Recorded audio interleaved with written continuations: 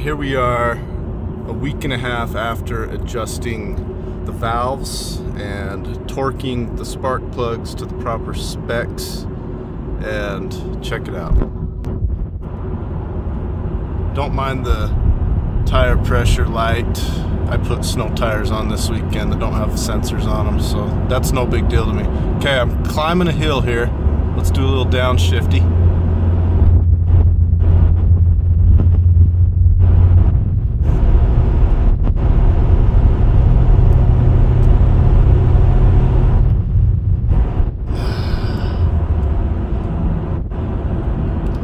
Tell on the video. I mean, it was it was jerking.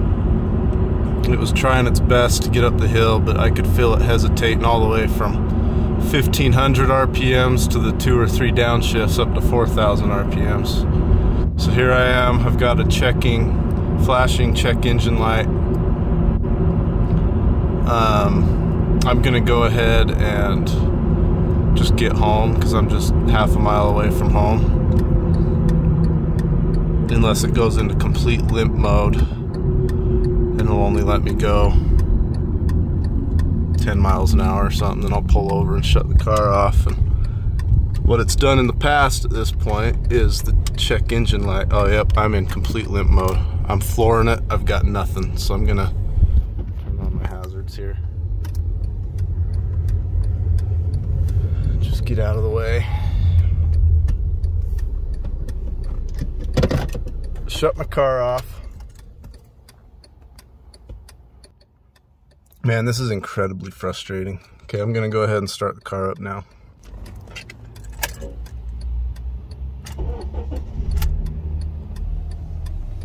No check engine light, so I'm just gonna drive away as if everything's normal.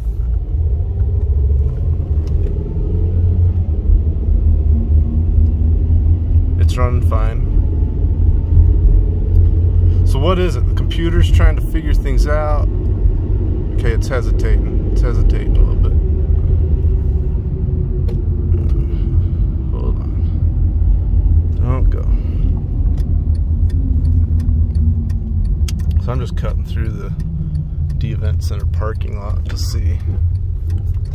And I'll do a little, make sure there's no cops around. Do a little hard downshift here.